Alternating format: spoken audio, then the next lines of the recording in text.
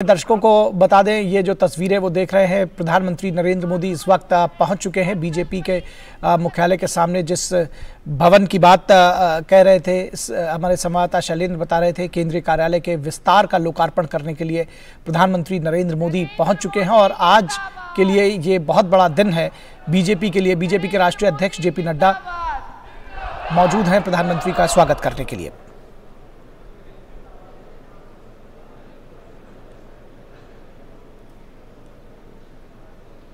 माननीय राष्ट्रीय अध्यक्ष जी के द्वारा अंग वस्त्र पहना के स्वागत और पुष्प गुच्छ देकर स्वागत किया गया है।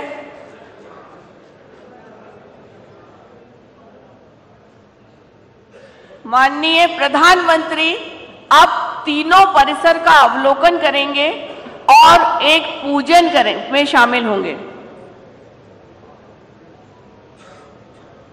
नरेंद्र मोदी नरेंद्र मोदी। नरेंद्र मोदी। जेपी नड्डा। जेपी नड्डा। भारत माता की। भारत माता की।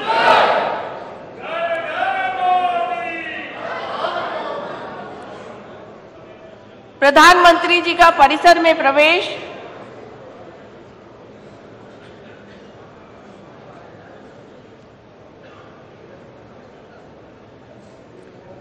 इस परिसर में, इस हॉल के अलावा दो कॉन्फ्रेंस हॉल्स और हैं। हमारे सबसे वरिष्ठ नेता, पूर्व अध्यक्ष माननीय मुरली मनोहर जोशी जी का आगमन हुआ है। करतल ध्वनि से उनका स्वागत करिए।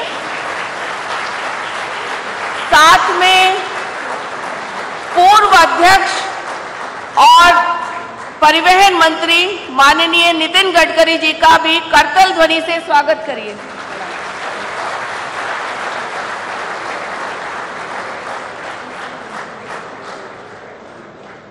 BJP. BJP.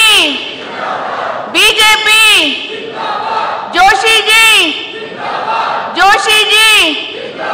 Nitin Gadkari. Nitin Gadkari. Bharat माता की।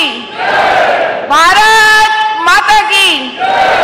वंदे वंदे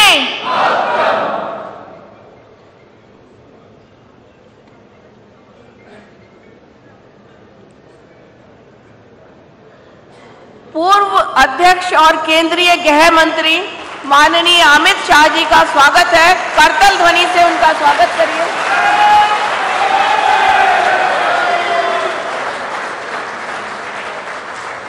अमित शाह जिंदाबाद। अमित शाह जिंदाबाद। बीजेपी जिंदाबाद। बीजेपी जिंदाबाद। भारत माता की। भारत माता की। वंदे। वंदे। माननीय प्रधानमंत्री जी का परिसर में आगमन हो चुका है। राष्ट्रीय कार्यालय के एक्सटेंशन के लोकार्पण समारोह के हम सब साक्षी बन रहे हैं। ये हमारे लिए गौरव का क्षण है। इस परिसर में इस बिल्डिंग भवन में तीन परिसर हैं। एक ये परिसर है जहाँ आप सब विराजमान हैं। दो कॉन्फ्रेंस हॉल इस परिसर में है। इसके आगे एक आवासीय परिसर है और एक परिसर में रिसर्च विंग है। नीति शोध परिसर है वो। तो ये हमारी कार्यकर्ता आधारित पार्टी, संगठन आधारित पार्टी का केंद्रीय कार्यालय के विस्तार का लोकार्पण कार्यक्रम है। और हम केवल एक राजनीतिक दल ही नहीं है, हम सामाजिक सरोकारों को साथ लेकर चलने वाले लोग हैं। गरीब कल्याण और समृद्ध, समावेशी भारत के निर्माण के लिए संकल्पबद्ध माननीय प्रधानमंत्री जी कुछ ही समय में हमारे बीच में आने वाले हैं। यहाँ उपस्थित हमारे वरिष्ठगण स्टेज पर विराजमान हैं। उन सब का मैं हार्दिक अभिनंदन करती हूँ। इस परिसर के पूजन के लिए, क्योंकि हम सनातन संस्कृति को मानने वाले लोग हैं, कल शाम को साढ़े छह बजे से आज एक बजे तक विभिन्न हवन और पूजन के कार्यक्रम रखे गए। सबसे पहले गणपति हवन हुआ। उसके पश्चात वास्तु का हवन हुआ। नवग्रह हवन किया गया। इंद्र विजयी हवन का, हवन किया गया। चंद्रिका हवन हुआ और श्री सत्यनारायण पूजन कथा पूजन और हवन का काम यहाँ हुआ है। और उसके पश्चात आज ये लोकार्पण का कार्यक्रम, केंद्रीय कार्यालय विस्तार के लोकार्पण का कार्यक्रम यहाँ रखा है। पूजन के पश्चात भोजन प्रसाद हो जाता है।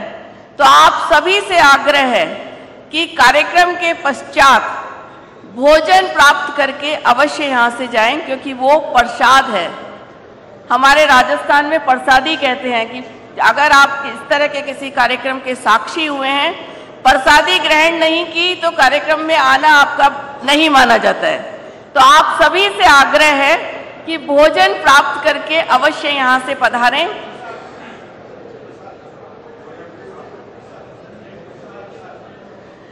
भारत माता की। भारत माता की। वंदे। वंदे बीजेपी जिंदाबाद भाजपा जिंदाबाद भाजपा जिंदाबाद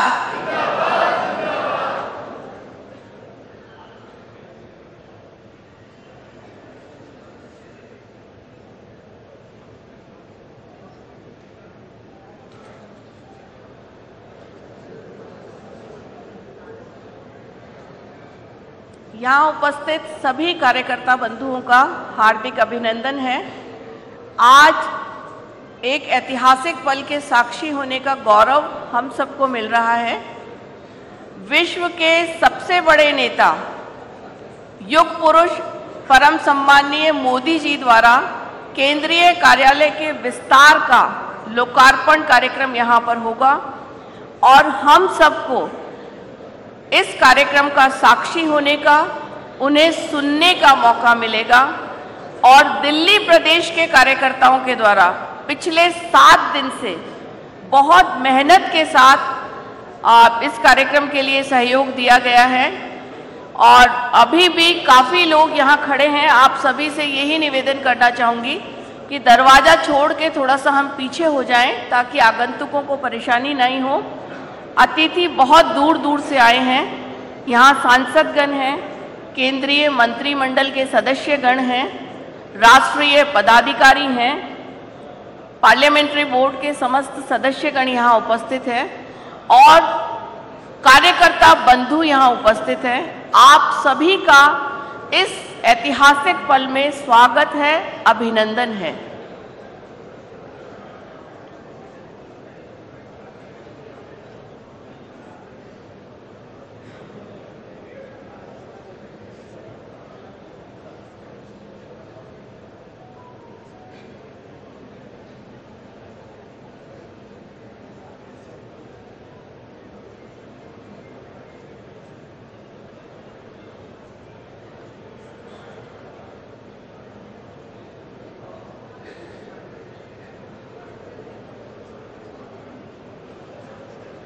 नमो ऐप के एक फीचर का प्रस्तुतिकरण अभी यहाँ पर हुआ है। मैं आग्रह करना चाहूँगी कि उसके बारे में हम सब लोग उस फीचर को उपयोग में लें। नमो ऐप एक बहुत बड़ा पोर्टल है जिससे हमें सरकार की योजनाओं की जानकारी, नवाचार और बहुत सी ऐसी चीज़ें जो हम लोग कर सकते हैं। क्योंकि कार्यकर्ता होने के नाते ये हम सबका कर्तव्य है। कि हम अपनी पार्टी का विस्तार करें और केंद्र की योजनाओं को उस जन तक लेके जाएँ जिसके लिए वो योजनाएँ बनी हैं। सर्व समावेशी विकास में और गरीब कल्याण के संकल्प के साथ प्रधानमंत्री जी निरंतर काम कर रहे हैं और वैश्विक नेता के रूप में, विश्व में अपनी छवि देश की छवि सुधारने का काम उन्होंने किया है। तो भारतीय जनता पार्टी के कार्यकर्ता होने के नाते ये कर्तव्य हम सबका है कि हम उन योजनाओं की जानकारी लें, उन योजनाओं के बारे में अध्ययन करें और उसे उस वंचित तक पहुंचाएँ जिसके लिए वो योजनाएँ बनी हैं। महिला होने के नाते बहुत गौरवान्वित महसूस करती हूँ कि 11 महिला मंत्री पहली बार किसी सरकार में हैं। और यहाँ माननीय निर्मला जी बैठी हैं, वित्त मंत्री हैं, स्मृति जी बैठी हैं। ये निश्चित रूप से गौरव देने वाली बात है उस आधी आबादी को, जो अभी तक विकास की अवधारणा से दूर थी। मीनाक्षी जी बैठी हुई हैं। आप सभी को निश्चित रूप से सर्व समावेशी और उस आधी आबादी को आगे बढ़ने का काम उस आधी आबादी को विकास की अवधारणा के साथ जोड़ने का काम। माननीय मोदी जी की सरकार कर रही है तो कार्यकर्ता होने के नाते ये हम सब का कर्तव्य है कि हम छोटे छोटे ग्रुप्स में व्हाट्सएप को काम में लें। माननीय मोदी जी परिसर के अवलोकन के साथ साथ यहाँ जो कामगार हैं जो जिन्होंने अपना पसीना बहाया है इस परिसर के निर्माण या किसी भी तरह से सहयोगी रहे हैं, उनको सम्मान देने का काम, उनसे संवाद करने का काम निरंतर माननीय मोदी जी प्रधान सेवक के रूप में करते हैं। हम सबको गर्व है कि ऐसे वैश्विक नेता हमारे साथ हैं, जिन्होंने उस छोटे से छोटे व्यक्ति से लेकर देश को, का विश्व में परचम लहराने तक का काम किया है। एक बार करतल ध्वनि से उस युग पुरुष के इस पुनीत काम के लिए हम बब, हम सब भी अपनी तरफ़ से सहभागी बने।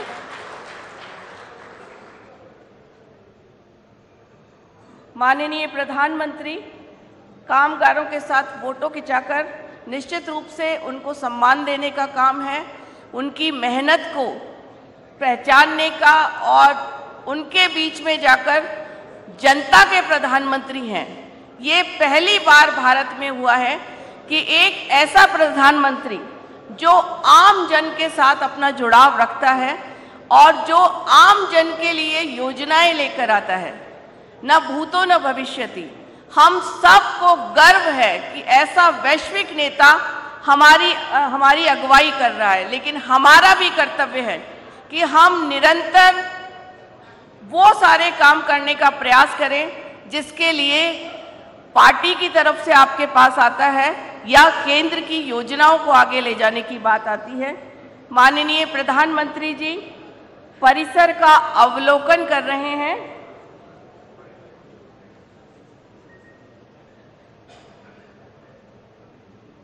साथ में राष्ट्रीय अध्यक्ष नड्डा जी हैं।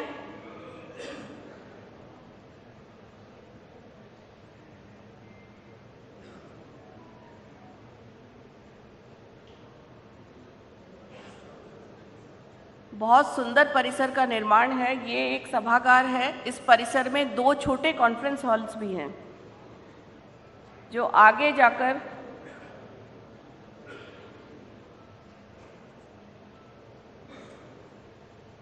हम सब की कार्यप्रणाली और कामों के लिए काम आएँगे। माननीय प्रधानमंत्री जी, एक परिसर का बटन दबाकर लोकार्पण कर रहे हैं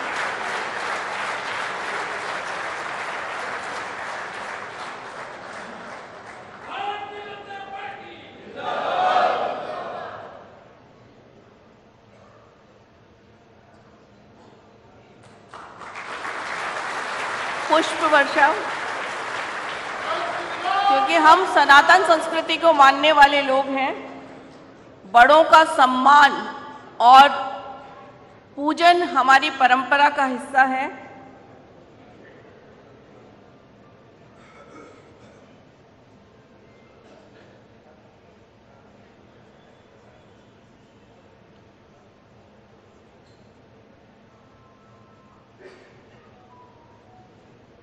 Narendra Modi. Narendra Modi. Narendra Modi. JP Nadda. JP Nadda. Bhajpa. BJP. BJP.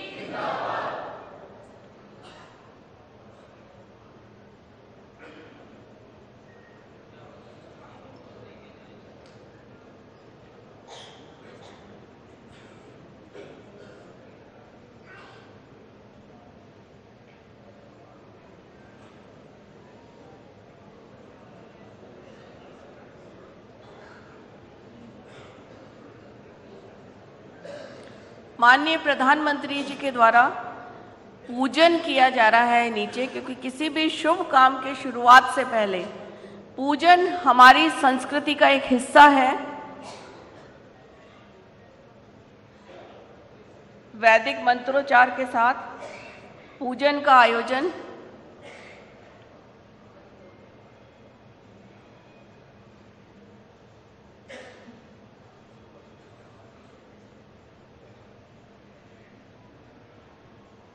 हम सनातन संस्कृति को मानने वाले लोग हैं और किसी भी शुभ काम से पहले पूजन की परंपरा हमारे यहाँ है। भारत माता की। भारत माता की। वन डे वन वंदे।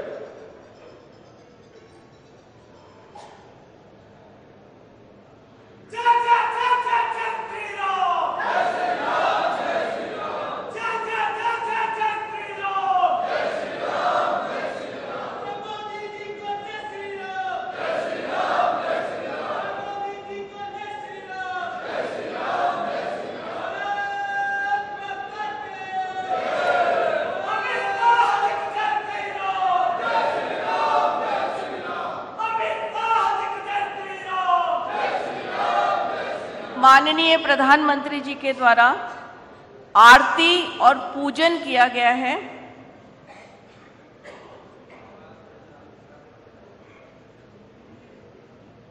विधिवत पूजन और आरती।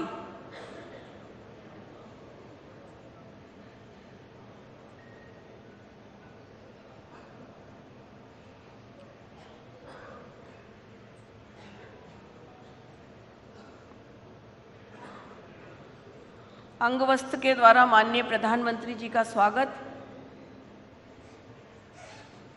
और पंडित जी के द्वारा संस्कृत, हमारी संस्कृति के अनुरूप उन्हें भेंट दी गई है। जो भी, किसी भी शुभ काम से पहले हम सब जानते हैं कि इस तरह का आयोजन हम करते हैं। नरेंद्र मोदी जिंदाबाद। नरेंद्र मोदी जिंदाबाद।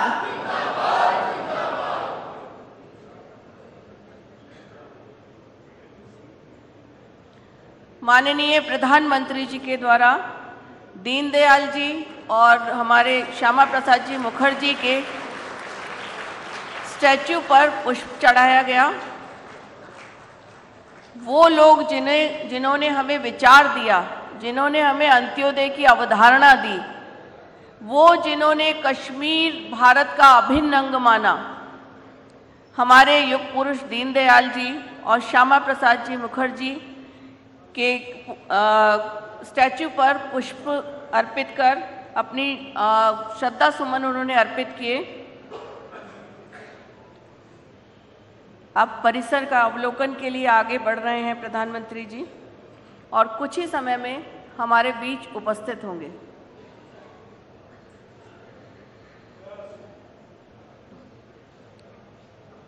भारत माता की। भारत माता की। वंदे। वंदे। बीजेपी जिंदाबाद। बीजेपी जिंदाबाद भारतीय जनता पार्टी भारतीय जनता पार्टी अमित शाह जी को जय श्री राम जय श्री राम जय श्री राम अमित शाह जी को जय श्री राम जय श्री राम जय श्री राम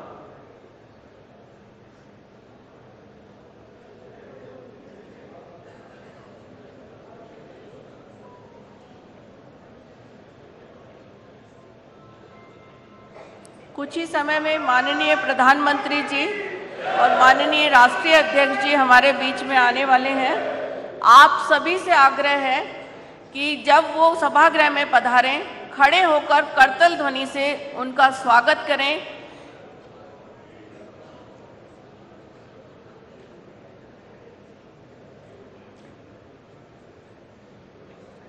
परिसर में आने के पश्चात सबसे पहले हमारी संस्कृति के अनुरूप पूजन किया गया माननीय प्रधानमंत्री जी के द्वारा।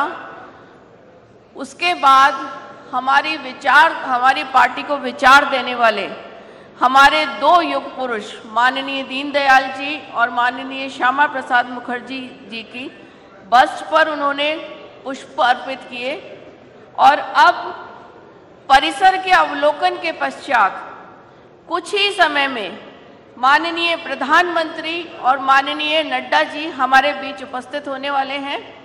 और आज हम सब के लिए बहुत गौरव का पल है कि इस केंद्रीय कार्यालय के विस्तार के लोकार्पण समारोह का हम सब साक्षी बनेंगे। हम साक्षी बनेंगे माननीय प्रधानमंत्री जी के उद्बोधन का।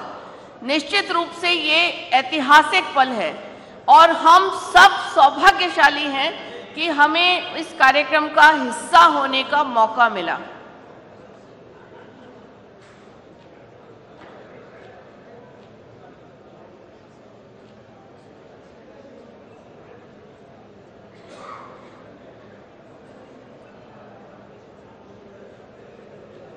भारत माता की। भारत माता की। वंदे। वंदे। बीजेपी। बीजेपी।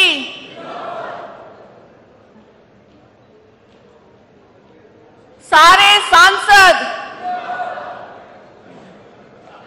सारे कार्यकर्ता। सारे कार्यकर्ता।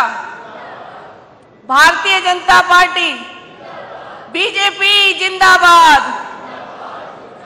बीजेपी जिंदाबाद। नरेंद्र मोदी जिंदाबाद। नरेंद्र मोदी जिंदाबाद। अमित शाह जिंदाबाद।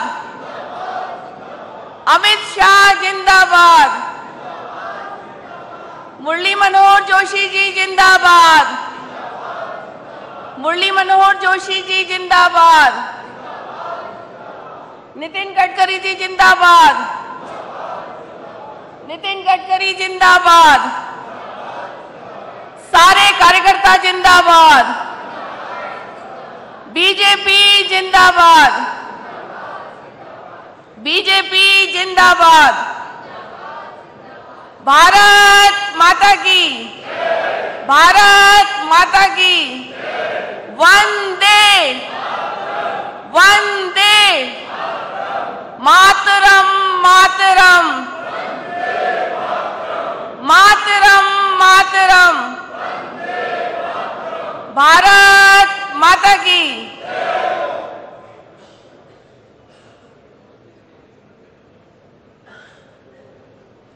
परिसर के अवलोकन के पश्चात कुछ ही समय में माननीय प्रधानमंत्री जी का आगमन होगा। आप सब जो यहाँ कार्यकर्ता बंधु उपस्थित हैं, आप सभी का हार्दिक अभिनंदन है। माननीय प्रधानमंत्री जी के आगमन पर खड़े होकर करतल ध्वनि से उस युग पुरुष का, जो देश को आगे ले जाने के लिए कृतकृत संकल्प है और जो विश्व में भारत का परचम लहरा रहा है। आज भारत क्या कहता है, ये बहुत ध्यान से सुना जाता है। तो भारत आज दर्शक से आगे बढ़कर विश्व गुरु की ओर जा रहा है।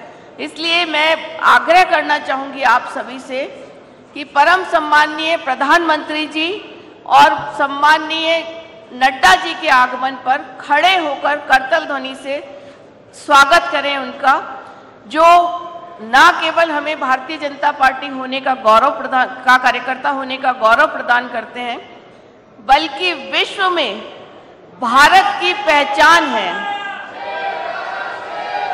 देखो देखो कौन आया देखो देखो कौन आया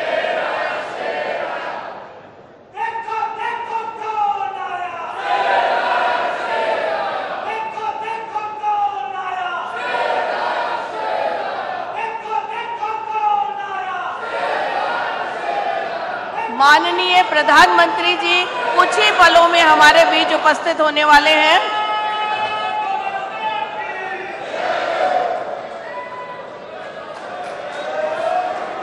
भारत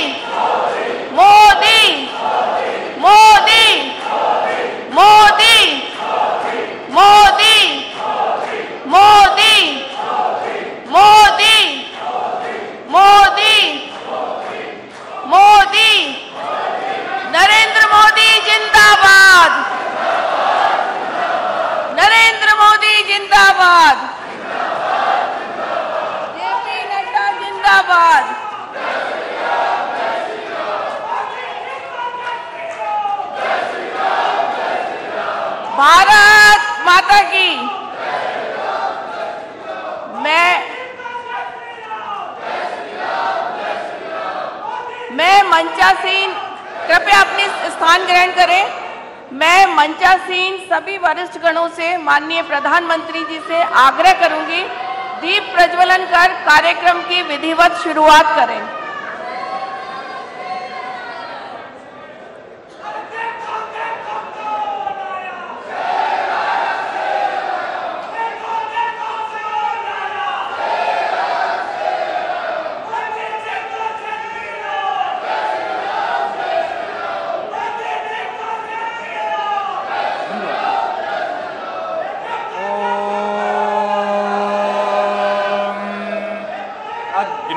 नय राजे अस्मान्। विश्वादिदेव भजनादिविद्वान् युयोध्यस्मज्जोराटमेनः भोजिष्ठान्ते नम उक्तिं विधेम। सहता भवतु सहनौ भुनक्तु सह वीर्यङ्करवावहै तेजस्विनावधीतमस्तु मा विद्विषावहै। ॐ शान्ति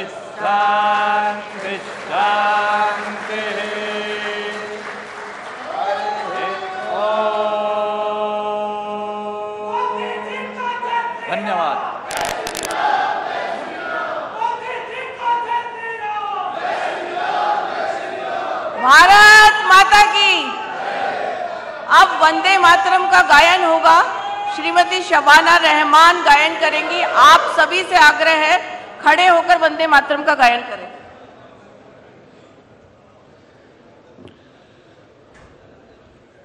वंदे मातरम् वंदे मातरम्। सुजलां सुफलां मलय च शीतिला शस्य श्यामला मातिरं। वन्दे मातरं।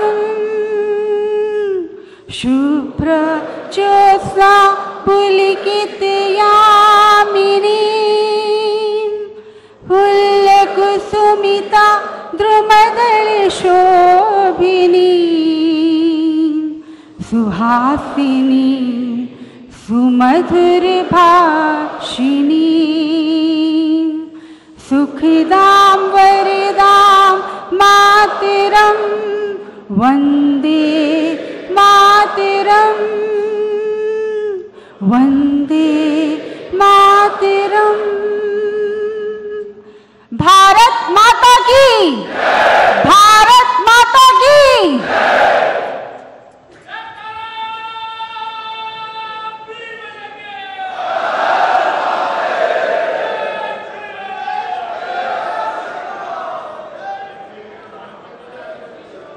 भारत माता की। जैसा कि हमारी संस्कृति में है, हम वरिष्ठ जनों का सम्मान करते हैं किसी भी शुभ कार्यक्रम में। माननीय प्रधानमंत्री जी के, युग पुरुष प्रधानमंत्री जी के सम्मान के लिए विश्व की सबसे बड़ी पार्टी के राष्ट्रीय अध्यक्ष माननीय नड्डा जी से आग्रह करूँगी कि वो अंग वस्त्र और पुष्प गुच्छ देकर माननीय प्रधानमंत्री जी का सम्मान करें।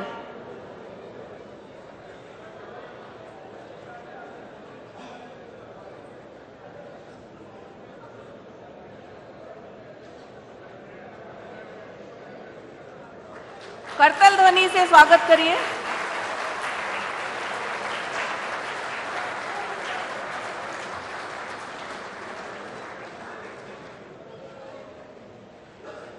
दिल्ली प्रदेश के अध्यक्ष वीरेंद्र सचदेवा जी से आग्रह है कि हमारी पार्टी के राष्ट्रीय अध्यक्ष माननीय नड्डा जी का स्वागत करें अंग वस्त्र और पुष्प गुच्छ देकर।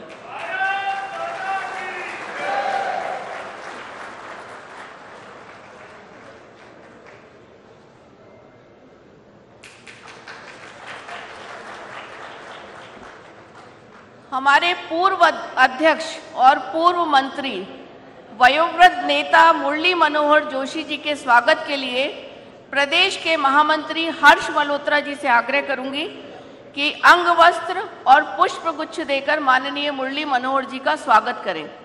करतल ध्वनि से स्वागत करिए हमारे वरिष्ठ गणों का।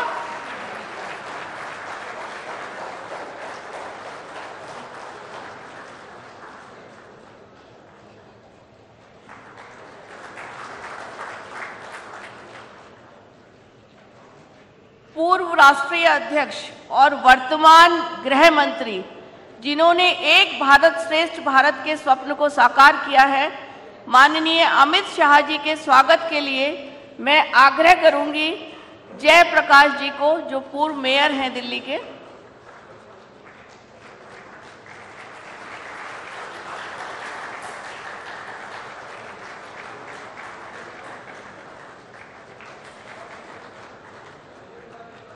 पूर्व राष्ट्रीय अध्यक्ष और वर्तमान परिवहन मंत्री, जिन्होंने इंफ्रास्ट्रक्चर का जाल पूरे देश में बिछा दिया है। माननीय नितिन गडकरी जी के स्वागत के लिए मैं आग्रह करूँगी प्रदेश के उपाध्यक्ष राजीव बब्बर जी से।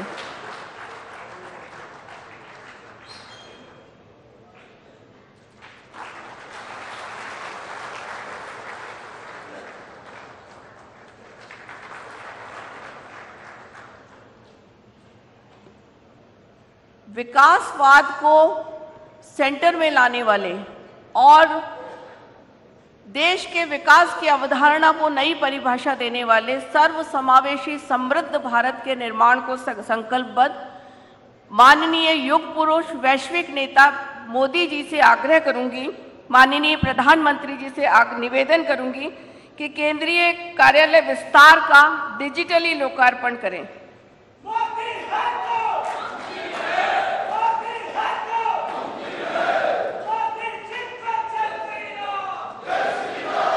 करतल ध्वनि। तालियाँ बजाकर स्वागत करिए इस ऐतिहासिक पल का।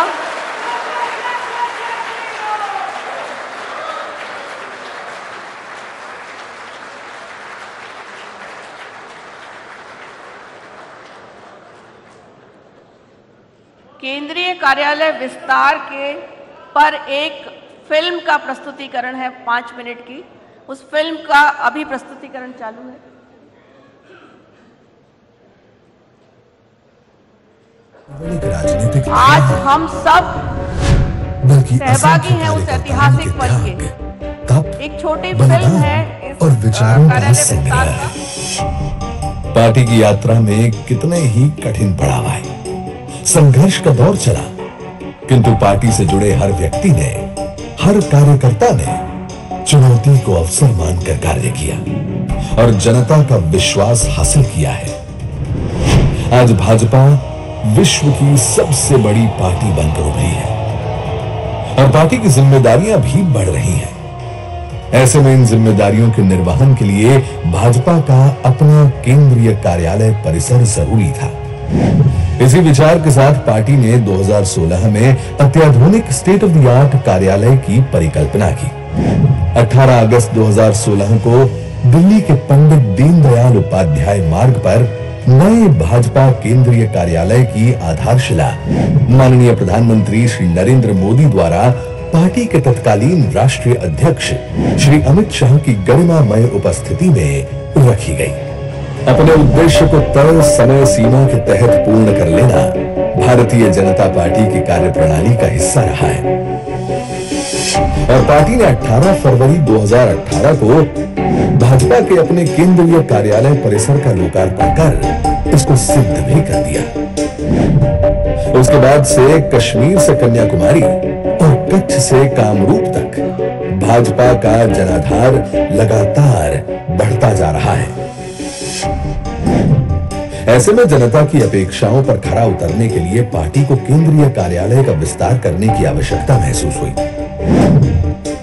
भाजपा के केंद्रीय कार्यालय पार्टी के संस्कारों और संकल्पों की नींव है और भाजपा का शीर्ष नेतृत्व कार्यकर्ताओं के मार्गदर्शन के साथ साथ समय समय पर उन्हें प्रशिक्षण व आवश्यक संसाधन उपलब्ध कराने के लिए सदैव तत्पर रहता है। इसी श्रृंखला में भाजपा के केंद्रीय कार्यालय विस्तार की आधारशिला रखी गई। भाजपा केंद्रीय कार्यालय विस्तार का विशाल परिसर नई दिल्ली के दीनदयाल उपाध्याय मार्ग पर भाजपा केंद्रीय कार्यालय के पास ही है।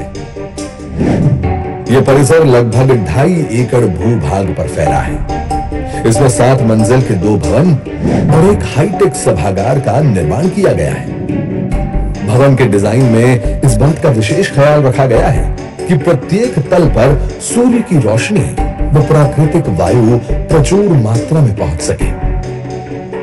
इसके अलावा पूरी इमारत में सुरक्षा के मापदंडों का भी पूरा ख्याल रखा गया है।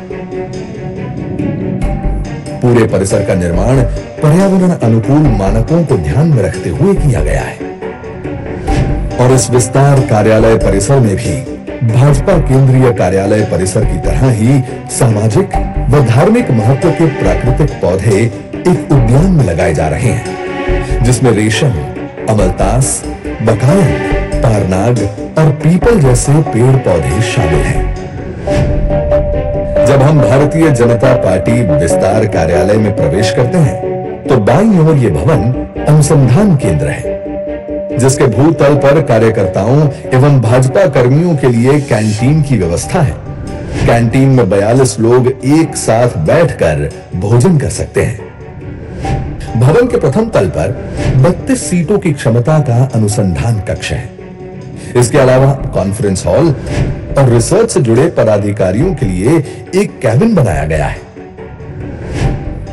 इसी तरह भवन की सातों मंजिलें विभिन्न अनुसंधान कार्यों के लिए आरक्षित हैं। परिसर में ही आगे ये दूसरा भवन आवासीय है। इसके भूतल पर रिसेप्शन कैंटीन लाउंज और जिम जैसी सुविधाएँ उपलब्ध हैं। प्रथम तल से लेकर ऊपरी मंजिलों तक संगठन के चिन्हित पदाधिकारियों व कार्यकर्ताओं के ठहरने की व्यवस्था है। प्रवेश द्वार के दाई ओर पंडित दीनदयाल उपाध्याय जी की प्रतिमा स्थापित की गई है। और प्रतिमा के बगल में एक दिव्य व भव्य भवन का निर्माण किया गया है। भवन में तीन हाईटेक प्रशिक्षण हॉल्स व एक मल्टीपर्पज सभागार का निर्माण किया गया है।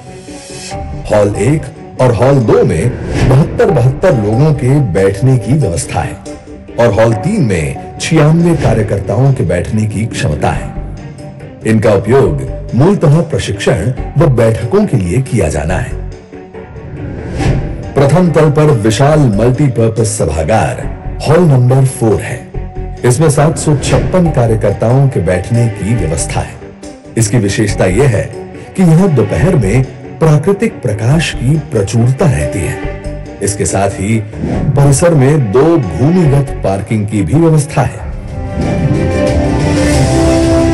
भाजपा के केंद्रीय एवं विस्तार कार्यालय केवल इमारत नहीं अब तो करोड़ों पार्टी कार्यकर्ताओं की आशा आकांक्षाओं को प्रतिबिंबित करने वाले केंद्र है। जहाँ अंत्योदय के सपने को साकार करने के लिए अथक परिश्रम करने की ऊर्जा का संचरण होता है और नए भारत के संकल्पों को पूरा करने के लिए प्रधानमंत्री मोदी जी के साथ कदम से कदम मिलाकर चलने की प्रेरणा मिलती है। आज आदरणीय प्रधानमंत्री श्री नरेंद्र मोदी जी द्वारा माननीय राष्ट्रीय अध्यक्ष श्री जगत प्रकाश नड्डा जी की अध्यक्षता में इस विस्तार कार्यालय का लोकार्पण किया जा रहा है। इसकी सभी को हार्दिक शुभकामनाएँ।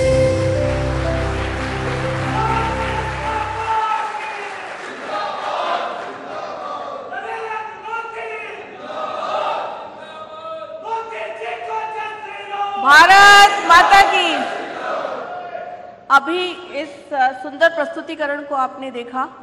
इस परिसर में तीन परिसर हैं। और हम जिस सनातन संस्कृति को मानने वाले हैं, इस परिसर के उद्घाटन से, लोकार्पण से पूर्व यहाँ यज्ञ और हवन का आयोजन भी किया गया। सबसे पहले कल शाम को साढ़े छः बजे से लेकर आज दोपहर एक बजे तक हमारी संस्कृति के अनुरूप हवन और पूजन इन परिसर में किया गया।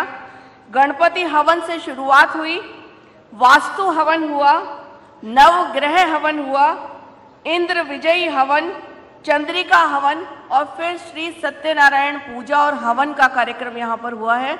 और हमारी संस्कृति के अनुरूप माननीय वैश्विक ने, ने, नेतृत्व ने अभी यहाँ पर पूजन कर आरती कर इस लोकार्पण कार्यक्रम का शुभारंभ किया है। अब इसी के अंतर्गत विश्व की सबसे बड़ी पार्टी के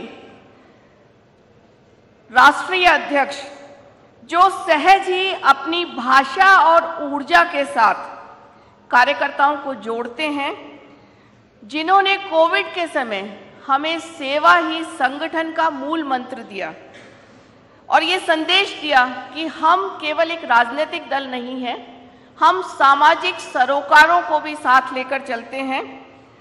और सरकार की योजनाओं को आम जन तक ले जाने के लिए किस तरह पार्टी का सहयोगी हो सकती है और किस तरह हम अपने संगठन का विस्तार कर सकते हैं ये मूल मंत्र देने वाले और पार्टी सर्वगाही पार्टी बने ये अ, हमें प्रेरणा देने वाले राष्ट्रीय अध्यक्ष माननीय जगत प्रसाद जेपी नड्डा जी से मैं आग्रह करूँगी कि हम सबका मार्गदर्शन करें।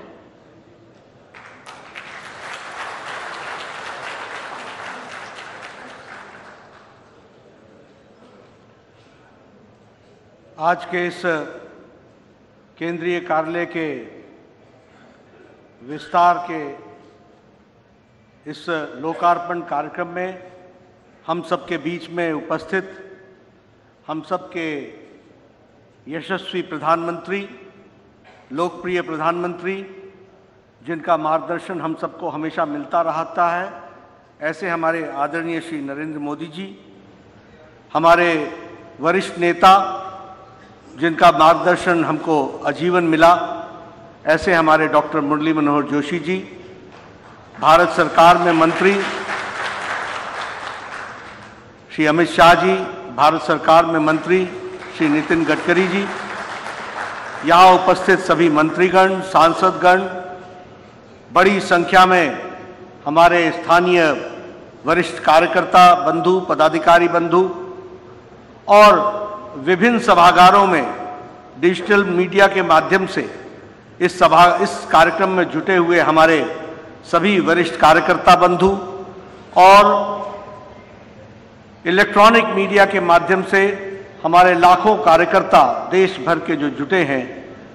सबसे पहले इस ऐतिहासिक कार्यक्रम में मैं अपनी ओर से और आप सब लोगों की ओर से आदरणीय प्रधानमंत्री जी का हार्दिक अभिनंदन करता हूँ, स्वागत करता हूँ।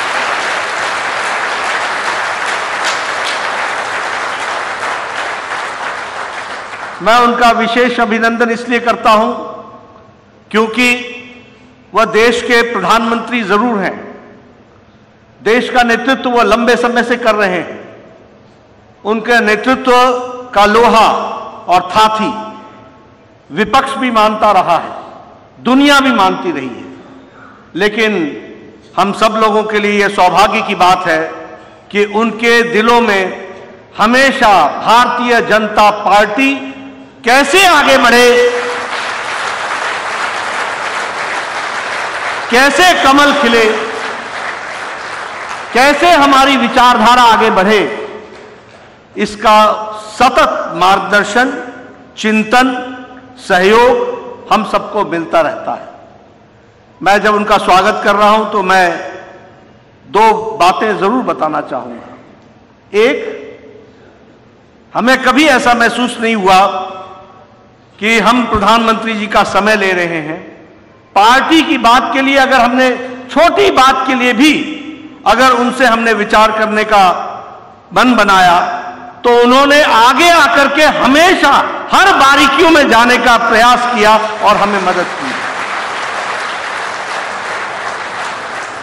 वह प्रधानमंत्री हैं, लेकिन संगठन मंत्री उनके दिल में हमेशा बसा हुआ है यह भी हमको ध्यान रखना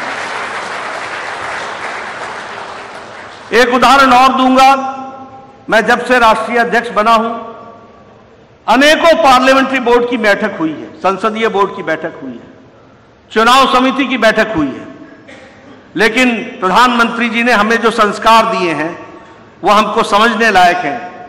आज दिन तक कोई भी बैठक प्रधानमंत्री कार्यालय या निवास में नहीं हुई। वो हमेशा दीनदयाल उपाध्याय मार्ग पर हुई है, ये उन्होंने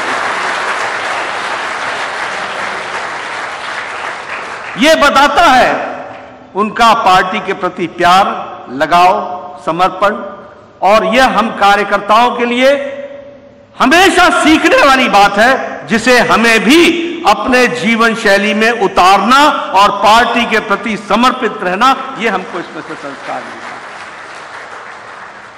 मैं पार्टी के सभी कार्यकर्ताओं को एक बात ज़रूर कहूँगा कि आपके लिए एक ऐतिहासिक मौका है।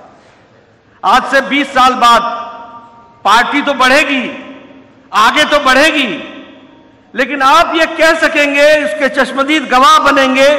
20 साल बाद भी आप गौरव से कह सकेंगे कि जिस दिन इसका लोकार्पण हो रहा था, उस दिन मैं भी उपस्थित था। ये आपको ऐतिहासिक मौका मिला।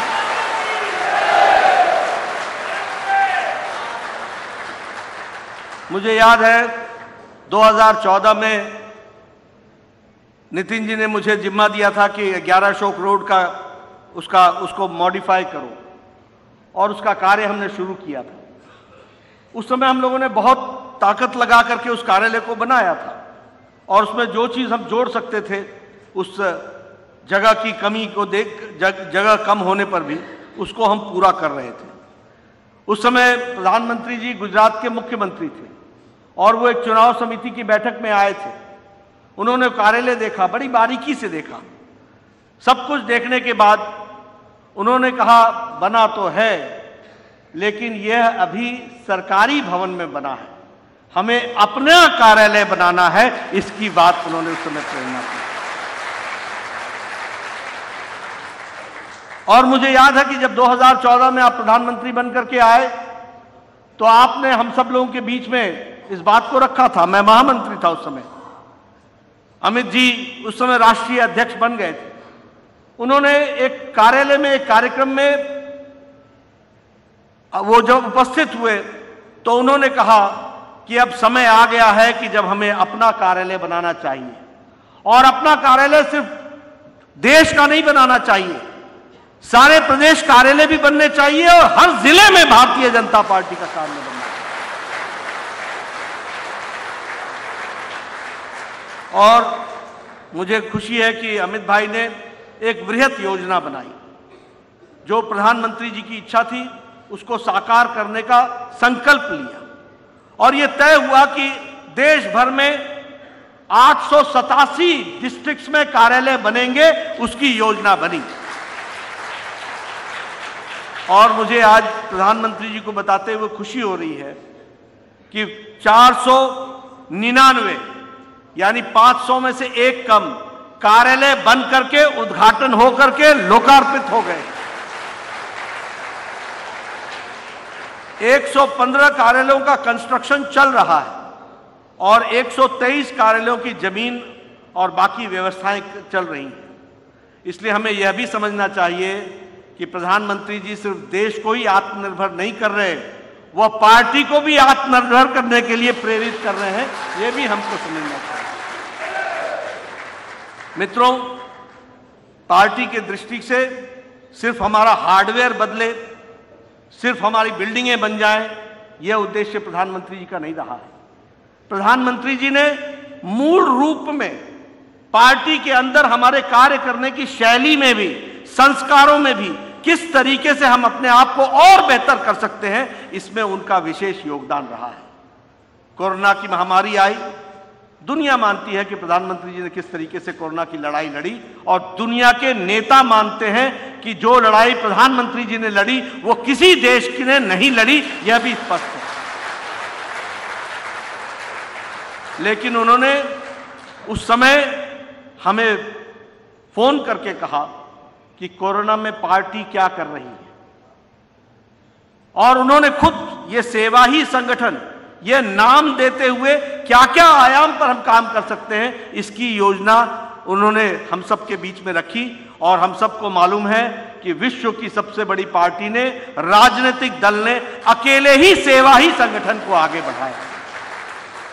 और उसमें किस तरीके से हमने लोगों को भोजन पहुँचाया, राशन पहुँचाया, दवाइयाँ पहुंचाई, ये सब आप सब लोग जानते हैं, मास्क पहुँचाए और जो काम हम लोगों ने सीखा भी नहीं था, वह भी हमारे लोगों ने सीखा, मास्क बनाना सीखा और उसका डिस्ट्रीब्यूशन सीखा। एक तरीके से सेवा ही संगठन को आगे बढ़ाया गया। और इसी को आगे बढ़ाते हुए अब भारतीय जनता पार्टी का सेवा सप्ताह, यह एक सतत कार्यक्रम बन गया है। उसी तरीके से हम समाज के सभी व्यक्ति, सभी वर्गों के लिए हैं। इसलिए प्रधानमंत्री जी ने हमको प्रेरित किया कि हम सामाजिक न्याय की लड़ाई लड़ाई लड़ें। और आपको मालूम है, आज ही सुबह मैंने सांसदों से चर्चा की कि 6 तारीख को स्थापना दिवस से लेकर 14 तारीख को भीमराव अंबेडकर जी की जन्म जयंती तक हम सेवा सप्ताह मनाते हैं और उसमें हम सभी सामाजिक न्याय की लड़ाई की जो विषय हैं, उन सब, सबको रखते हैं। उसी तरीके से एक भारत श्रेष्ठ भारत के तहत एक नई प्रेरणा हमको दी। अगर हमारा कोई तमिलनाडु का भाई दिल्ली में है तो हम तमिलनाडु की स्थापना दिवस सिर्फ़ हम तमिलनाडु में क्यों मनाए? वह दिल्ली में भी मननी चाहिए, उनको जोड़ना चाहिए, और इस तरीके से सांस्कृतिक कार्यक्रमों से हमको साथ लाना चाहिए। उसको भी पार्टी ने आगे जोड़ा। उसी तरीके से स्नेह, मिलन के कार्यक्रम के माध्यम से समाज के विभिन्न वर्गों में काम करने की योजना में उन्होंने हमें प्रेरणा दी है, जिसको हमने आगे बढ़ाया है। मैं आपसे, आप प्रधानमंत्री जी की प्रेरणा से अब know BJP know means K N O W Bharatiya Janata Party को जानो। इसकी प्रेरणा आपने दी और आपको जान करके खुशी होगी कि इसी दीनदयाल परिसर में छप्पन से ज़्यादा राजदूत भारतीय जनता पार्टी को समझने के लिए आए हैं और पाँच देशों के विदेश मंत्री, फाइनेंस मिनिस्टर और प्रधानमंत्री भी इस कार्यालय में आए हैं और भारतीय जनता पार्टी का एक जिसको कहते हैं अंतर्राष्ट्रीय स्तर पर उस चर्चा को शुरू किया है। आपकी प्रेरणा से हम अब डेलीगेशन पार्टी टू पार्टी दुनिया के सभी पॉलिटिकल पार्टीज़ के साथ कर रहे हैं। इसलिए मैं प्रधानमंत्री जी को यह विश्वास दिलाता हूँ कि हमारे कार्यालय तो बने हैं, लेकिन कार्यालय में बनने वाले कार्यकर्ता भी सुदृढ़ और अच्छे होकर के, सुसंस्कृत होकर के, भारतीय जनता पार्टी की एक जीती जागती तस्वीर बन करके वो भारत की सेवा करें, इसके लिए हम काम कर रहे हैं। अमित भाई ने एक कल्पना रखी कि हमारा रिसर्च सेंटर होना चाहिए। और जो कल्पना उन्होंने रखी है, उसको हम लोग साकार करेंगे। ये दुनिया का one of the high quality विचारों से युक्त, हमारे संस्कारों से युक्त रिसर्च सेंटर बनने वाला है। इसको भी हम आगे बढ़ा रहे हैं। मैं आपके और प्रधानमंत्री जी के बीच में ज़्यादा देर न रहता हुआ, मैं पुनः प्रधानमंत्री जी का स्वागत करता हूँ। उन्होंने हाँ उनका हम सबको मार्गदर्शन मिलेगा और उनके मार्गदर्शन से जो पार्टी कार्य को आगे बढ़ा रही है, उसके बारे में मैंने कुछ चर्चा की। आप सब लोगों से मेरा यही निवेदन है कि जो प्रधानमंत्री, और निवेदन नहीं, ये निर्देश है कि हम सब लोग प्रधानमंत्री जी के जो हमको विचार मिलते हैं, उसको जमीनी स्तर पर पूरा करने के लिए हम सब तत्पर होंगे। और इस बात का विश्वास मैं प्रधानमंत्री जी को भी देता हूँ। इन्हीं शब्दों के साथ धन्यवाद।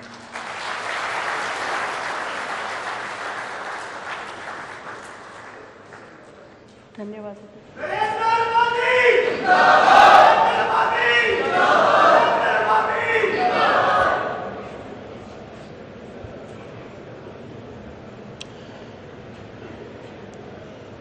भारत माता की। भारत माता की। कार्यक्रम में उपस्थित भारतीय जनता पार्टी के अध्यक्ष श्रीमान जेपी नड्डा जी हम सबके मार्गदर्शक डॉक्टर मुरली मनोहर जोशी जी, पार्टी के अन्य सभी पदाधिकारी, सभी सम्मानित साथी कार्यकर्तागण, देवी और सज्जनों। भारतीय जनता पार्टी के केंद्रीय कार्यालय के विस्तार की देश भर के भारतीय जनता पार्टी के कार्यकर्ताओं को बहुत बहुत बधाई।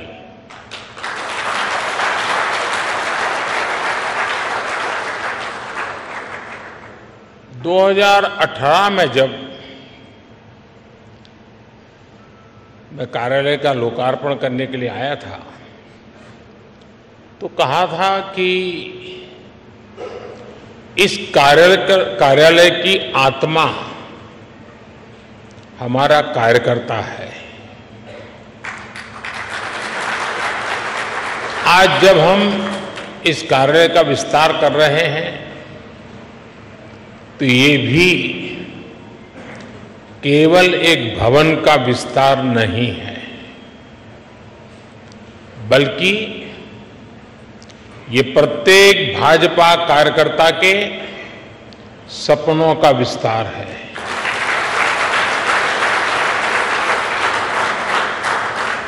भाजपा के सेवा के संकल्प का विस्तार है। मैं पार्टी के उन कोटि कोटि कार्यकर्ताओं के चरणों में प्रणाम करता हूँ।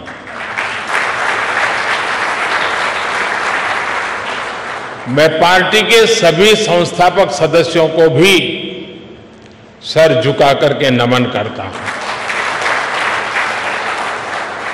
साथियों, आज से कुछ दिन बाद हमारी पार्टी अपना चवालीसवां स्थापना दिवस मनाएगी। ये यात्रा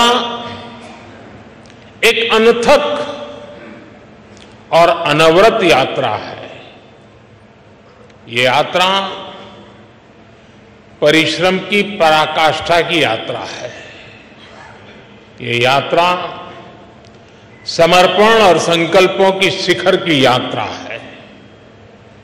ये यात्रा विचार और विचारधारा के विस्तार की यात्रा है। और ये यात्रा, ये विस्तार अपने आप में बहुत ही प्रेरणादायी है। आपको याद होगा, भारतीय जनसंघ ने दिल्ली के अजमेरी गेट के पास एक छोटे से ऑफ़िस से अपनी यात्रा शुरू की थी। उस समय हम देश के लिए बहुत बड़े सपने देखने वाले छोटी सी पार्टी थे। सपने बड़े थे, दल छोटा था। 1980 में जब भाजपा का जन्म हुआ तब कुछ समय के लिए 10 राजेंद्र प्रसाद मार्ग पार्टी का ऑफ़िस बन गया था। और उसी जगह पे पहले अपने नानाजी देशमुख रहते थे। बहुत से कार्यकर्ताओं को ग्यारह अशोका रोड पार्टी ऑफ़िस के रूप में याद होगा। इसके भी काफ़ी समय बाद पार्टी ऑफ़िस दीनदयाल उपाध्याय मार्ग पर शिफ्ट हुआ। एक तरह से हमारी पार्टी की प्रगति का प्रतीक है। इस दौरान कितने ही उतार चढ़ाव आए। हम तो वो दल है। जिसने इमरजेंसी के दौरान लोकतंत्र की रक्षा के लिए खुद अपने दल को ही देश हित में आहूत करने पर हमने हिम्मत के साथ कदम उठाया।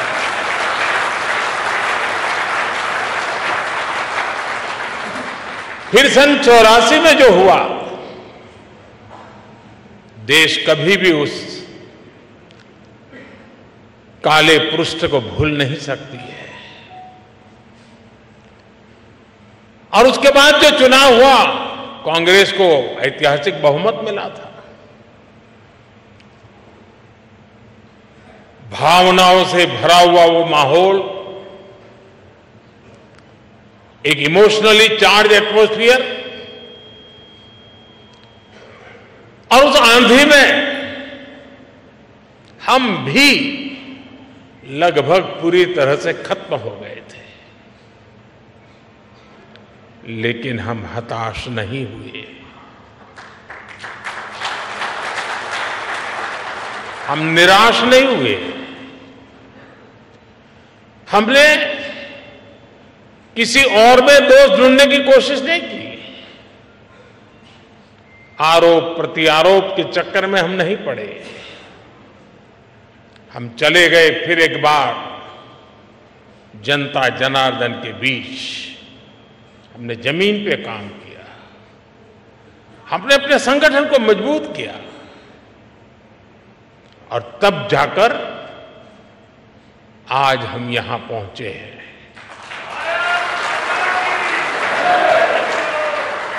दो लोकसभा सीटों के साथ शुरू हुआ सफ़र। 2019 में 303 सीटों तक पहुँच गया।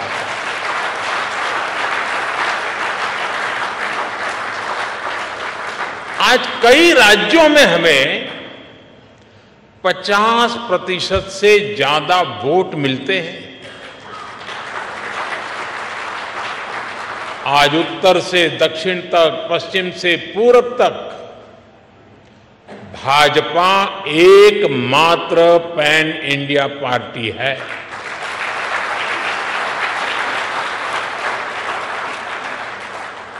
परिवार के कब्जे वाली पार्टियाँ,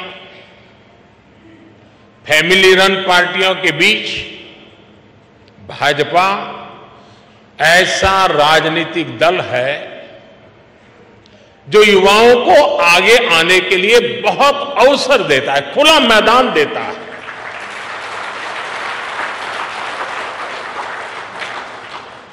आज भारत की माताओं, बहनों, बेटियों का आशीर्वाद जिस पार्टी के साथ है, उस पार्टी का नाम है भारतीय जनता पार्टी।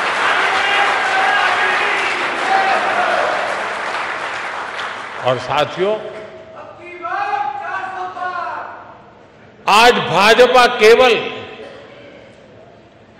विश्व की सबसे बड़ी पार्टी नहीं है, बल्कि भाजपा भारत के सबसे फ्यूचरिस्टिक पार्टी है।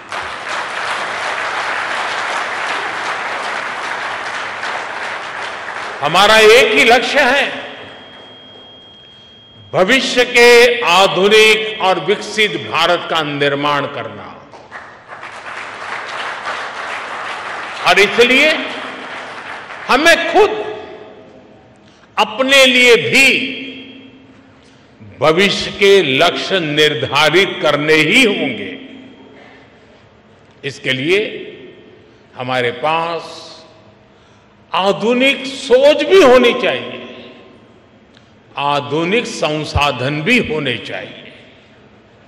हमें भाजपा को एक ऐसी संस्था के रूप में विकसित करना है, जिसके पास अगले 10 साल 20 साल 50 साल के लक्ष्य निर्धारित है। इसके लिए तीन बातें। हर कर्तव्यनिष्ठ कार्यकर्ता हर भाजपा सदस्य के स्वभाव में होना समय की मांग है, देश की ज़रूरत है। वो तीन बातें क्या है? एक है अध्ययन, दूसरा है आधुनिकता, और तीसरा है विश्व भर से अच्छी बातों को आत्मसात करने की शक्ति।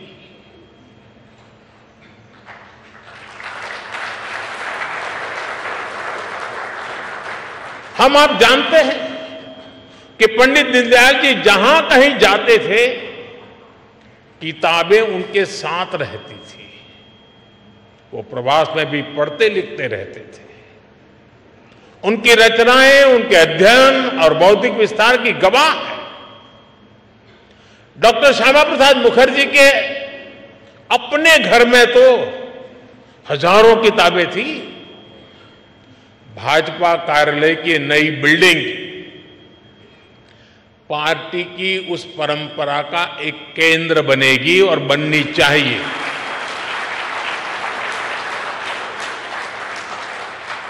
यहाँ अध्ययन की व्यवस्था भी है, आधुनिकता भी है, और विश्व भर का अनुभव प्राप्त करने की आकांक्षा भी है। मुझे विश्वास है, भाजपा का ये आधुनिक कार्यालय निरंतर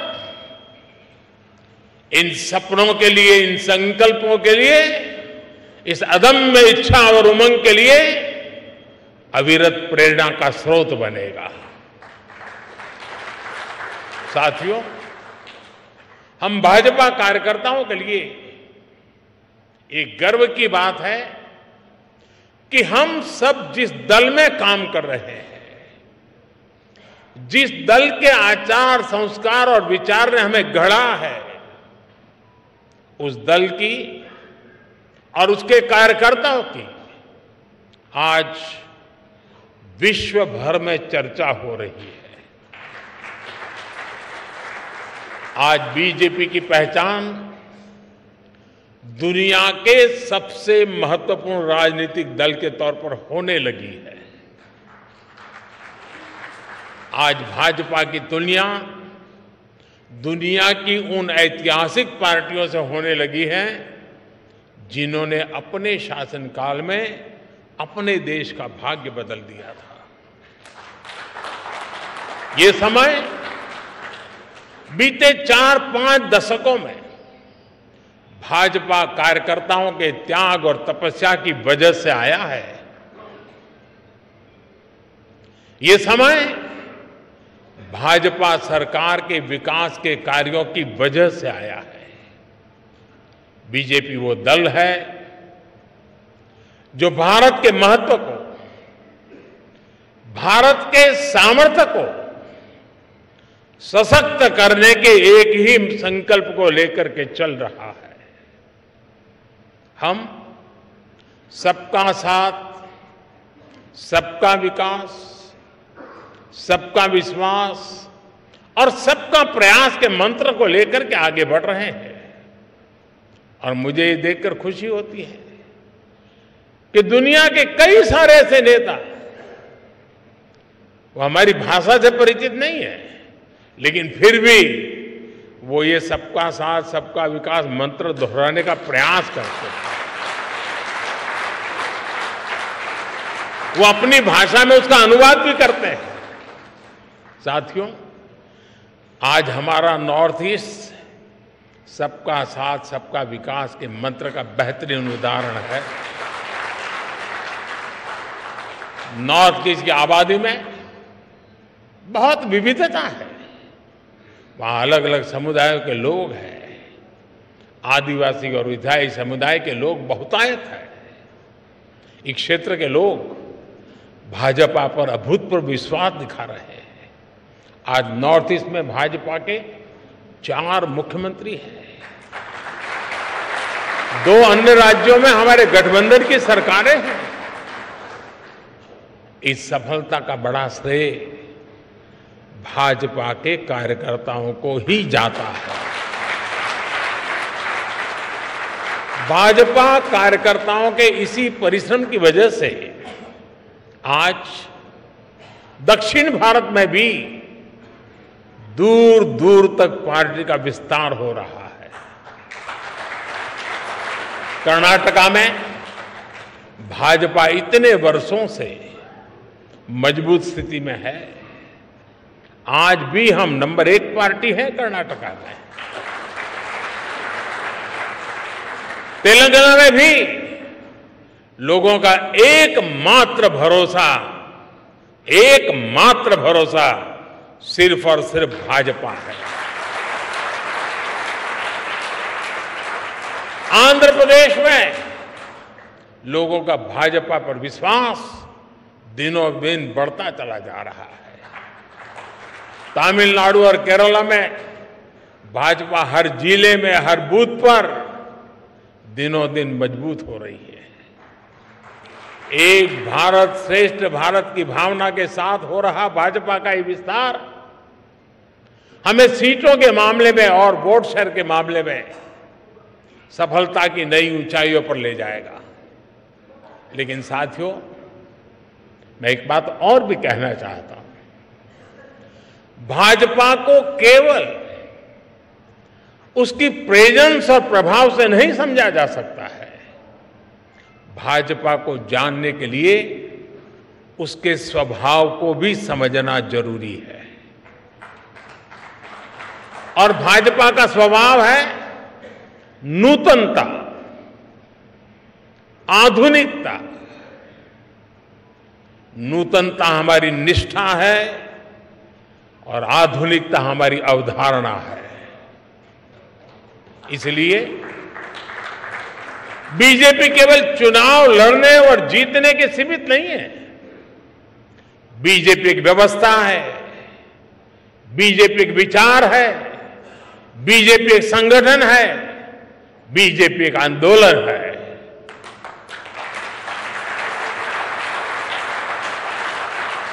बीजेपी विकास की भी प्रेरणा शक्ति है और बीजेपी बदलाव की भी प्राण शक्ति है। बीजेपी ने सियासत की सोच को बदला है और समावेश के नए मानकों को जन्म दिया है। और इसका एक उदाहरण है, भाजपा का सदस्यता अभियान। और इसके माध्यम से पार्टी का विस्तार।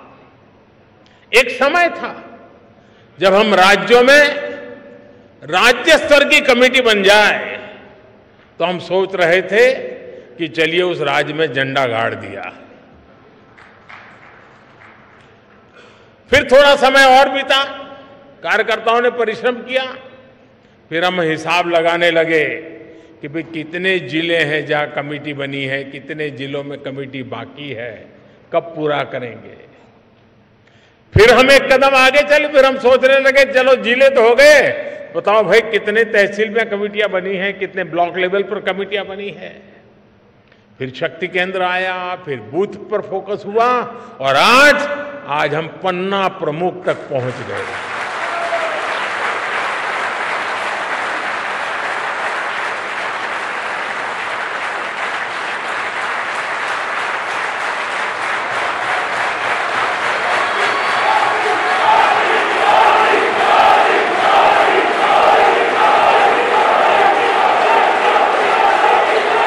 भाजपा भाजपा पहली पार्टी है जिसने पार्टी की व्यवस्था में संवैधानिक रूप से महिलाओं के लिए पद की व्यवस्था की है, संविधान के तहत।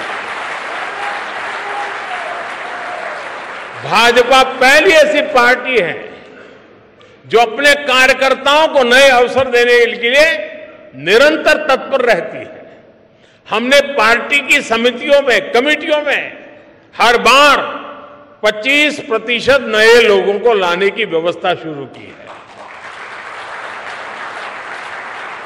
हम कार्यकर्ताओं की इसी ताकत से सत्ता के शिखर तक पहुँचे हैं। लेकिन हम भले ही सत्ता के शिखर पर पहुँचे हो लेकिन हमारे पाँव आज भी उतने ही ज़मीन पर हैं जितने 1980 में हुआ करते थे।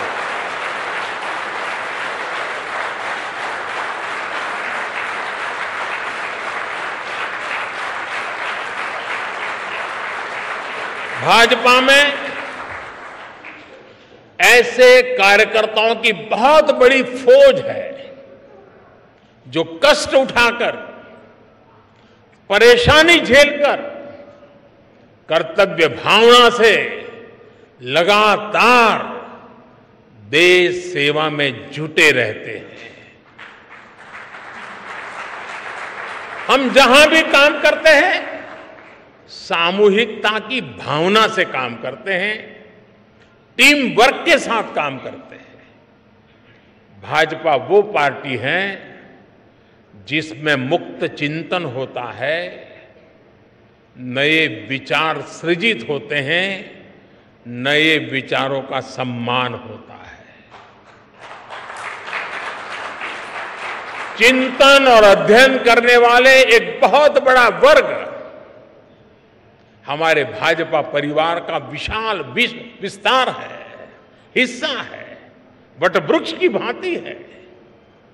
भाजपा वो पार्टी है जिसमें समाज के अलग अलग वर्गों को प्रतिनिधित्व देने के लिए प्रभावी और क्रियाशील मोर्चे और कमेटियाँ हैं। भाजपा में हर मोर्चा अपनी सामाजिक भूमिका में सक्रिय भी होता है, प्रभावशाली भी होता है। साथियों भाजपा की एक और विशेषता है कि हमारी पार्टी समाज के साथ जुड़कर के काम करती है। भाजपा में समाज की सेवा के माध्यम से कार्यकर्ताओं को घड़ा जाता है। जैसे कि आपने देखा होगा, आजकल भाजपा सांसद अपने क्षेत्र में खेल प्रतियोगिताएँ करा रहा है। इनके आयोजन में बड़ी ज़िम्मेदारी भाजपा के, वहाँ के स्थानीय कार्यकर्ता ही निभा रहे हैं। इसमें देश के लाखों युवाओं को भाग लेने का मौका मिल रहा है। हज़ारों युवाओं को पदक मिल रहे हैं, उनके लिए आगे बढ़ने के रास्ते खुल रहे हैं। और हमें भी क्षेत्र के सामर्थ्य का परिचय होता है। इसी तरह कहीं कोई प्राकृतिक आपदा हो, समाज के सामने कहीं कोई चुनौती आए, या फिर रक्तदान जैसे समाज सेवा से जुड़ा अभियान हो, भाजपा के कार्यकर्ता सबसे पहले पहुँचते हैं और सबसे आखिरी तक मोर्चे पर डटे रहते हैं।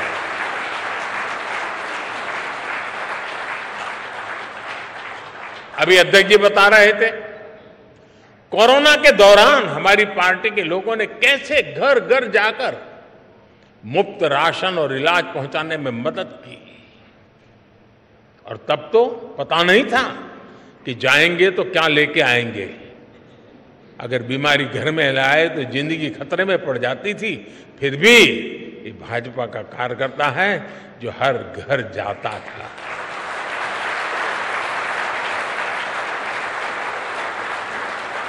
आज भाजपा और भाजपा कार्यकर्ताओं का समाज के साथ जो भावात्मक संबंध है, वो आपको किसी और राजनीतिक दल में नज़र आएगा कि नहीं आएगा, ये मैं कह नहीं सकता। साथियों, जब हम समाज की सेवा के लिए अपना जीवन खपाते हैं तो सरकार बनाने का अवसर मिलने पर भी ये हमारी प्राथमिकता होता है। इसलिए ही आज पूरे भारत में भाजपा सरकारें आकांक्षा, विकास और प्रगति का पर्याय बन रही है। और ये ये भाजपा का ब्रांड ऑफ़ गवर्नेंस है। जहाँ भी भाजपा की सरकार है, वहाँ गरीब कल्याण के लिए योजनाएँ तेज गति से चलने लगती है। जहाँ भी भाजपा की सरकारें हैं, वहाँ योजनाओं का लाभ लाभार्थियों तक पहुंचाना सुनिश्चित हो जाता है। जहाँ भी भाजपा की सरकारें वहाँ युवा शक्ति को आगे बढ़ने के लिए नए अवसर बनते हैं। जहाँ भी भाजपा की सरकारें हैं, वहाँ योजनाओं में महिला सशक्तिकरण को सर्वोच्च प्राथमिकता मिलने लगती है। जहाँ भी भाजपा की सरकारें हैं, वहाँ कानून व्यवस्था सुदृढ़ हो जाती है। जहाँ भी भाजपा की सरकारें हैं, वहाँ ease of doing business ease of living के प्रयास बढ़ने लगते हैं। जहाँ भी भाजपा की सरकारें हैं, वहाँ इंफ्रास्ट्रक्चर का तेज़ी से विकास होना शुरू हो जाता है। जहाँ भी भाजपा की सरकारें हैं, वहाँ विकास और विरासत, विकास और विरासत दोनों साथ साथ चलते हैं। साथियों मैं समझता हूँ। अब समय आ गया है कि हमारी यूनिवर्सिटीज एकेडमिशियंस और एक्सपर्ट्स भारत के पिछले 75 साल के अलग अलग गवर्नेंस मॉडल्स की कंपेरेटिव स्टडी करें एनालिसिस करें, देश और दुनिया के सामने रखे। देश ने लंबे समय तक कांग्रेस का एक गवर्नेंस मॉडल देखा है। देश ने कम्युनिस्टों का भी कुछ राज्यों में गवर्नेंस का मॉडल देखा है।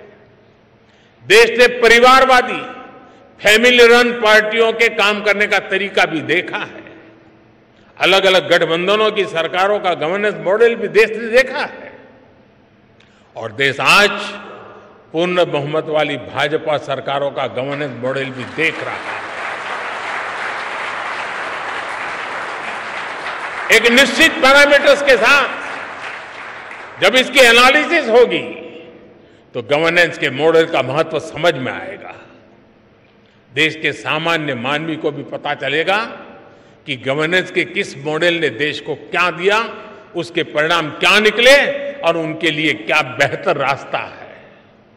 साथियों, आज भारतीय जनता पार्टी के प्रत्येक कार्यकर्ता को एक बात समझना बहुत आवश्यक है। देश इस समय जिस कालखंड कालखंड से गुजर रहा है, वो तेज विकास के लिए बहुत अहम है। ये अमृतकाल, ये सिर्फ़ शब्द समूह नहीं है, ये धरती की सच्चाई है। 140 करोड़ देशवासियों की दिलों की धड़कन है।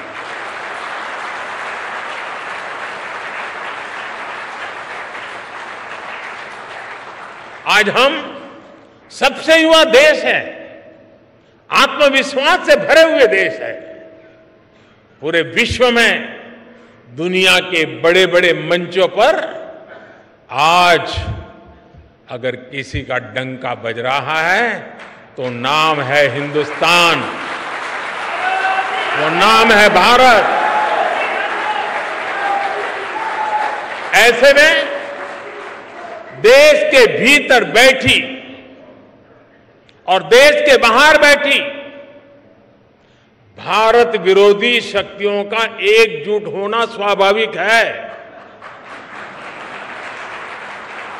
ये शक्तियाँ किसी भी तरह भारत से विकास का एक कालखंड छीन लेना चाहती है। आज भारत का सामर्थ्य अगर फिर बुलंदी की तरफ़ जा रहा है। तो इसके पीछे हमारी एक मज़बूत नींव है। ये नींव ये नींव हमारी संवैधानिक संस्थाओं की है। हमारे कॉन्स्टिट्यूशनल इंस्टीट्यूशंस की है। इसलिए आज भारत को रोकने के लिए हमारी इस नींव पर चोट की जा रही है।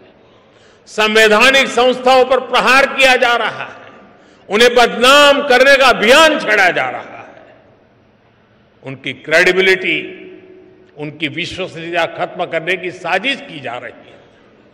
जो लोग भ्रष्टाचार में लिप्त है, उन पर जब एजेंसियाँ कार्रवाई करती हैं तो एजेंसियों पर हमला किया जाता है।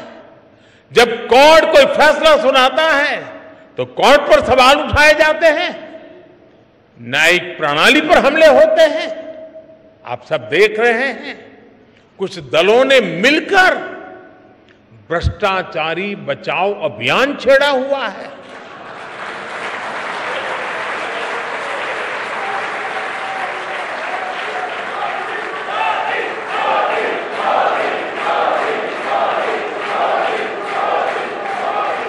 आज भ्रष्टाचार में लिप्त जितने भी चेहरे हैं, वो सब एक साथ एक मंच पर आ रहे हैं। पूरा देश ये देख रहा है, देश समझ रहा है। साथियों, भ्रष्टाचार ने हमारे देश का बहुत नुकसान किया है। दिमक की तरह देश को खोखला किया है भ्रष्टाचार ने। देश की जनता देख रही है कि पहले की सरकारों ने किस तरह भ्रष्टाचार के खिलाफ कार्रवाई के नाम पर केवल खानापुरी की थी। लेकिन पिछले नौ साल में भाजपा सरकार ने भ्रष्टाचार के खिलाफ जो अभियान चलाया, उसने आज भ्रष्टाचार और भ्रष्टाचारियों दोनों की जड़ें हिला दी है।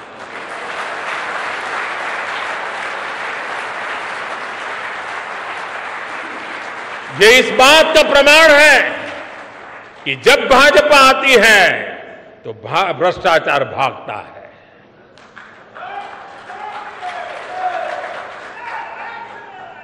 मैं आपको कुछ आंकड़े बताना चाहता हूँ आज। Prevention of money laundering act, यानी पीएमएलए के तहत कांग्रेस की सरकार में, यानी साल 2004 से 2014 के बीच पाँच हज़ार करोड़ रुपए के आसपास की संपत्ति जब्त की गई थी। पाँच हज़ार करोड़। इसी एक्ट के तहत पिछले नौ वर्षों में भाजपा सरकार ने एक लाख दस हज़ार करोड़ रुपए से ज़्यादा की संपत्ति जब्त की है।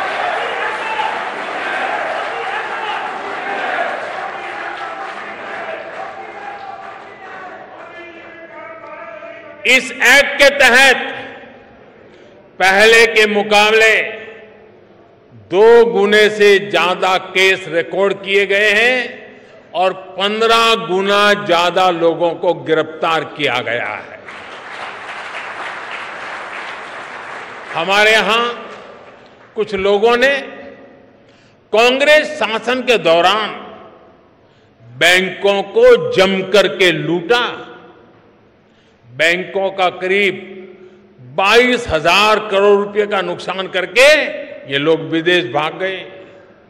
आज भाजपा सरकार ने इन लोगों की करीब करीब बीस हज़ार करोड़ रुपए की संपत्ति जब्त करवा दी है।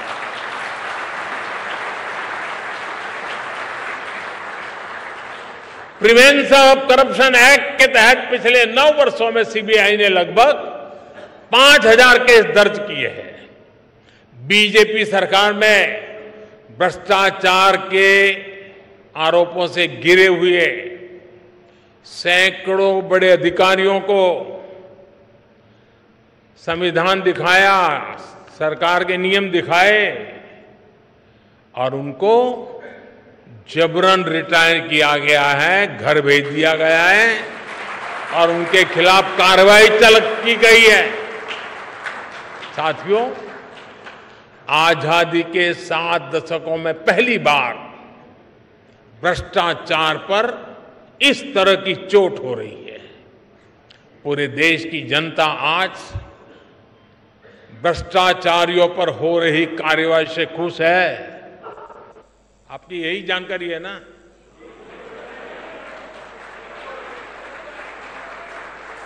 मैं जहाँ जाता हूँ, लोग यही कहते हैं मोदी जी रुकना मत।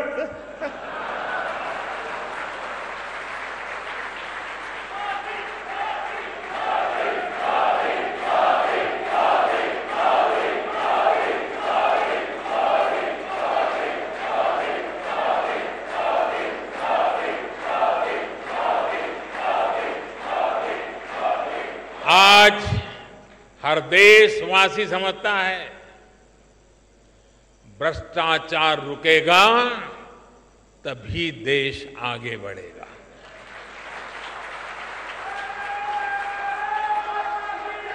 और जब, अब जब हम इतना सारा करेंगे तो कुछ लोग तो नाराज़ होंगे ही होंगे।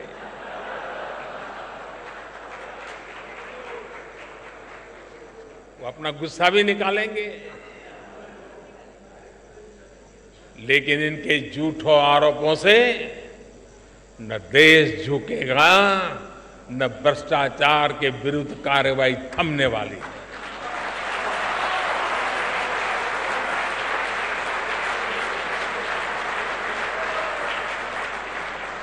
साथियों, आपको याद होगा,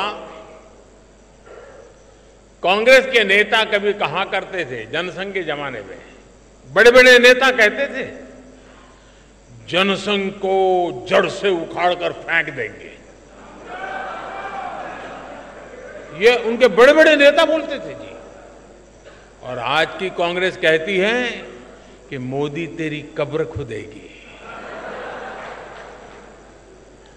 जनसंघ को मिटाने की, भाजपा को मिटाने की अनेक बार साजिशें हुई। और ये तो वो लोग हैं जिन्होंने मुझे भी जेल में डालने के लिए क्या क्या जाल नहीं बिछाई, लेकिन वो पूरी तरह नाकाम रहे।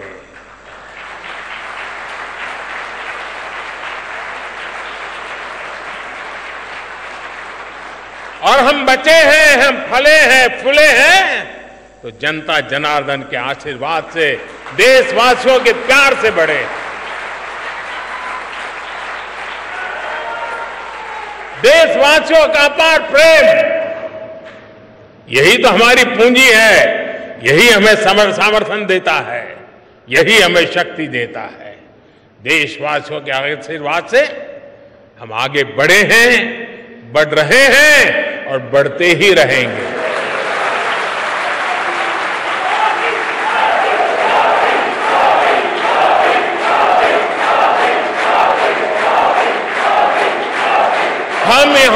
आगे बढ़ेंगे। वो भी देशवासियों के विश्वास से बढ़ने वाले हैं। साथियों, भाजपा ये वो पार्टी नहीं है जो अखबारों से, टीवी स्क्रीन की चमक से पैदा हुई हो। ये भाजपा भाजपा ट्वीट ट्विटर हैंडलों और यूट्यूब के चैनलों से पैदा नहीं हुई है। ये भाजपा अपने कार्यकर्ताओं के त्याग तपस्या से बनी हुई है। भाजपा ज़मीन पर काम करके आगे बढ़ी है। भाजपा गाँव में, खेत खलिहानों में गरीबों के साथ कंधा से कंधा मिलाकर तप करके आगे बढ़ी है। मुझे बहुत सारे लोग कहते हैं, अरे मोदी जी, अब सत्ता मिल गई दो दो बार प्रधानमंत्री बन गए, अभी भी क्यों इतना दौड़ते रहते हो? क्यों भागते रहते हो? अरे कभी तो मौज करो, आराम करो।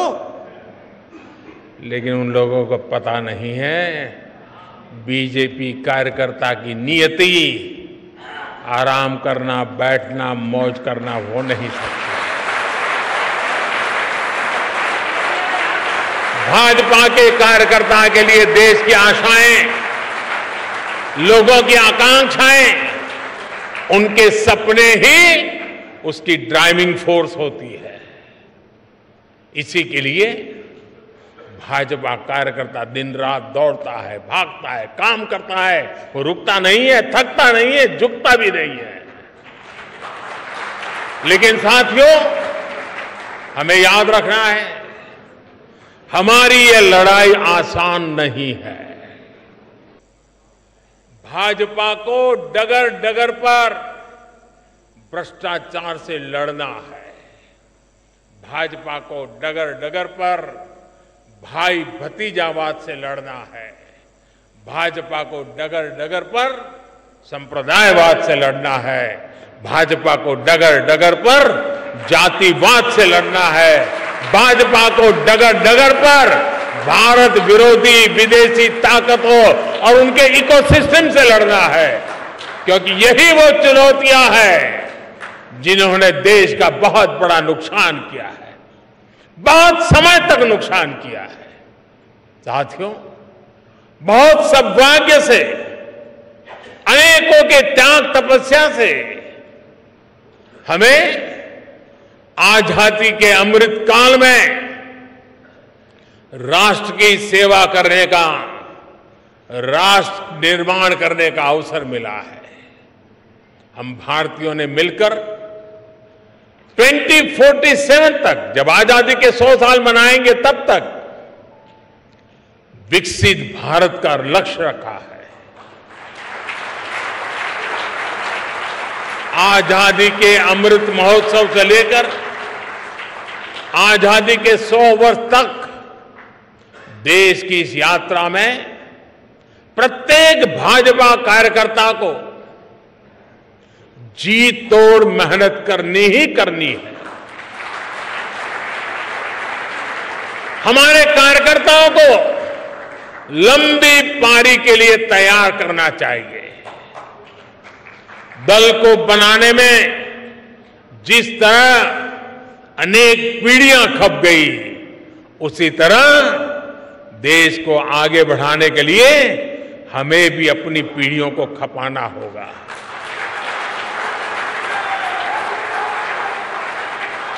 साथियों, मैं आपको फरवरी 2018 में इसी कार्यालय में कही हुई अपनी एक बात को आज याद दिलाना चाहता हूँ। 2018 में इसी भवन का लोकार्पण करते हुए मैंने कहा था कि कार्यालय हमारी कर्मभूमि है, लेकिन भारत की सीमा ही हमारे कार्यों की सीमा है। हमें इस भवन से ऊर्जा लेकर संपूर्ण भारत की सीमा को ही अपना कार्यक्षेत्र बनाना है। मुझे पूरा विश्वास है, आप सब इसी तपस्या के साथ देश के सपनों को साकार करते रहेंगे। जो सपना हमने पहले देखा था, उसे हम आज पूरा होता देख रहे हैं। जो सपना हम आज देख रहे हैं, वो भविष्य में पूरा होकर रहेगा।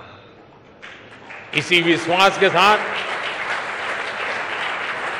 आज के इस मंगल अवसर पर और नवरात्रि के पावन त्योहारों के बीच मैं आप सबको, देशवासियों को अनेक अनेक शुभकामनाएँ देता हूँ। बहुत बहुत धन्यवाद। भारत माता की। भारत माता की। भारत माता की। वंदे। वंदे। वंदे। वंदे। वंदे। वंदे। वंदे। वंदवात मातरम।